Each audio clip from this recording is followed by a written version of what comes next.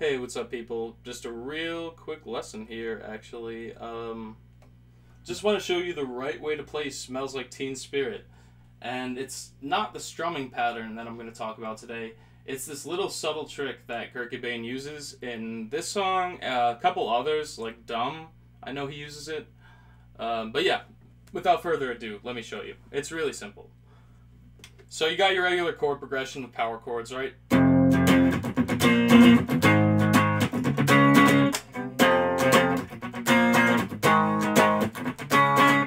But what he really does is he kind of leans his pinky on the G string for all the power chords that are, you know, for the F power chord, so this. Instead of that, he does this. And then for the uh, the G sharp, um, he also does the same exact thing. You might be like, all right, so he plays a sus4 chord.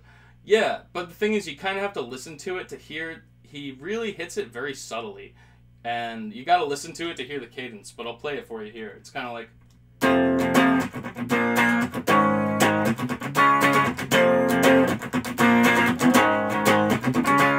And then you uh, press down on your distortion pedal.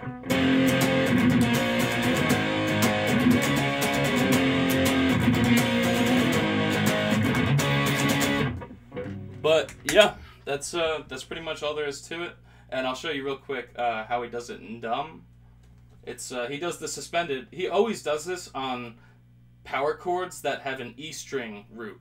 Um, it's I think it's because this is how I play power chords too. Um, what he does for power chords on the A string root, he often includes the B string, like in In Bloom.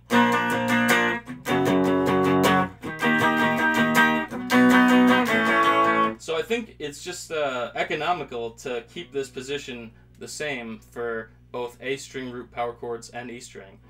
So yeah, you kind of just uh, make your uh, pinky joint flat. So here, I'll show you dumb.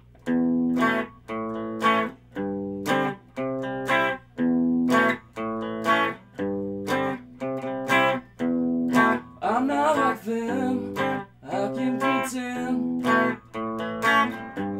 Oof, my voice is rough right now. Alright, yeah, so uh, that's it. If you like this kind of content, then uh, like and subscribe, hit the bell notification, and uh, yeah, that's it. Peace out.